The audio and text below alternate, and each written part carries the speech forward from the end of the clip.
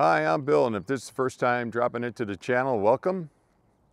And if you find that you're liking this video or any of my videos, please smash that like button. The more likes, the more people get to an opportunity to see this video in their feed and click on it and, and those type of things. So I'm up here in Blue Canyon Airport. If you saw my last video, uh, I was doing a trip up to Blue Canyon Airport and then I was gonna head down to the Yuma area to an observation site called Alpha, Alpha Scorpii and uh, meet up with Jason, AKA AZ4Runner. If you haven't seen his channel on YouTube, I would strongly suggest that you uh, check it out.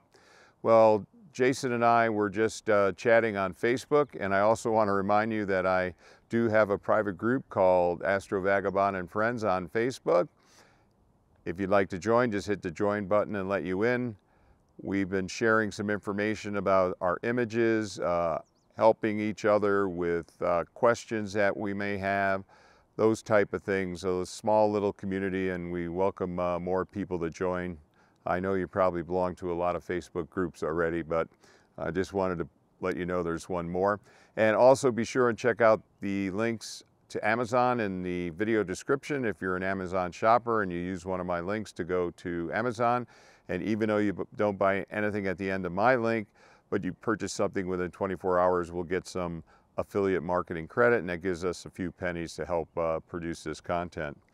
So as I was saying, I was chatting with uh, Jason, AKA AZ4Runner, about the weather down in the Yuma area and it looks real iffy at this point. So I've decided not to travel down to Alpha Scorpii down in the Yuma, Arizona area uh, this new moon. Instead, I am going to stay up here and work on imaging up here. I'll stay an extra night. I was going to do a travel day on Thursday, but I will now stay here Thursday night as well.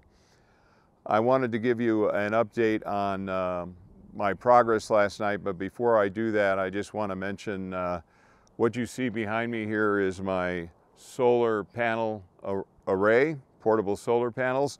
And uh, back here, I'm charging up my Jackery Explorer 1500 and that 1500 drives my Starlink plus manages the Edge HD 8 gear plus my EQ6R mount.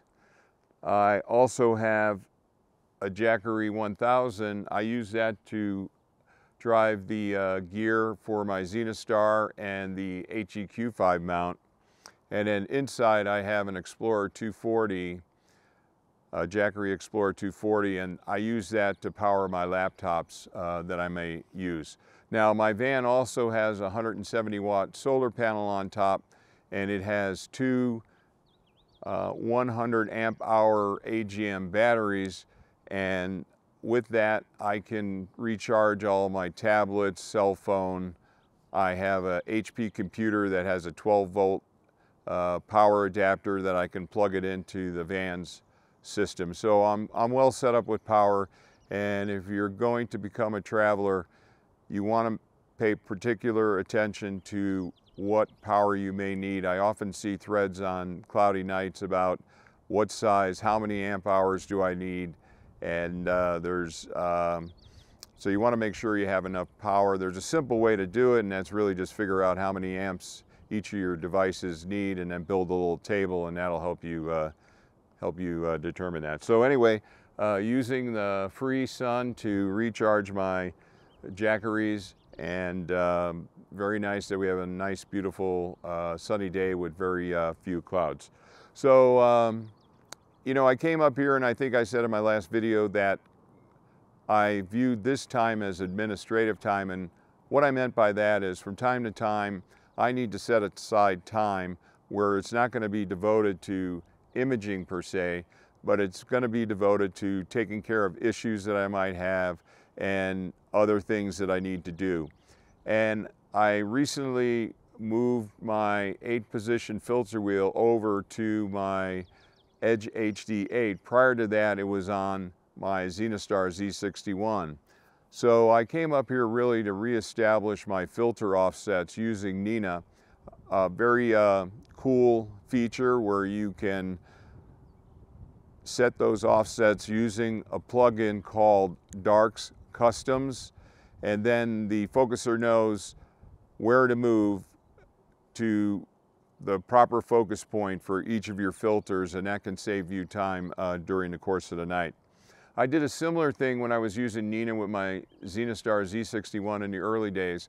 So I knew that I was going to have to come up here and I was going to have to uh, work with a couple of parameters like step size, uh, backlash, overshoot, and those type of uh, parameters.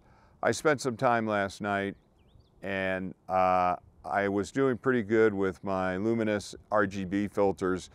I ran into a little issue with my HA uh, S2 and O3, my uh, narrowband filters. Probably didn't bump up my exposure time enough for those filters. But again, uh, I knew I was going to have to deal with this and so I was not disappointed or anything. No issues with Nina. It ran great and my guiding was really good last night with my EQ6R uh, Pro. So, you know, I'll continue tonight to establish my filter offsets and again, work with the parameters that are available in different combinations to see how I can optimize setting focus for each of my uh, filters. Now, it's very important that the filters be uh, manually, in my view, manually focused first where you know where that focal point is at a minimum for the uh, luminous filter. All right, so that's uh, about it. I tried to shoot the blue Horsehead Nebula with my Zenithstar 61, but it is so low in the sky up here. If I was down in uh, Yuma, uh, it would have been a, um, a, a better opportunity for me. I did collect some data but then I ran into some guiding metrics that really just didn't look good. I couldn't see it showing up in my uh, sub exposures. I was running uh, three minute exposures doing R, G, and B. So I'll take a look at that data. I got through the R and the, the G. So tonight, what I'm gonna try and do is just focus on my Edge uh, HD8 because I find sometimes trying to work on two different things at the same time, I'm not real good at that. You may be, but I'm not real good at that. I do much better if I uh, work with things in a sequential manner. So I'll spend some more time, uh, hopefully tonight. The target will come available around 11.30 and be available until about 3.30 in the morning where it's above 25 degrees in altitude. So other than that, that's uh, about it, an update. I'm uh, disappointed that the weather uh, was not uh, more solid as far as a forecast for uh, the Yuma area. I would have liked to have gone down and met with Jason, and I understand Iceman Astro might have been out there and just meet some of the people that image down there. I'm basically all by myself here. Uh, one person, a visual observer, came in around 11 o'clock last night and set up for a little bit and then uh, took off. So uh, very nice up weather up here right now in the Sierras at the 5,000 foot level. I will say that being up in elevation again, I used to have a house up here at the 6,400 foot level. So uh, this higher elevation is uh, making me a little bit uh, tired and uh, so I pulled the plug last night around one o'clock in the morning with my uh, filter offsets and then um, uh, went to sleep. It had been a long day. I was up at six, drove up here.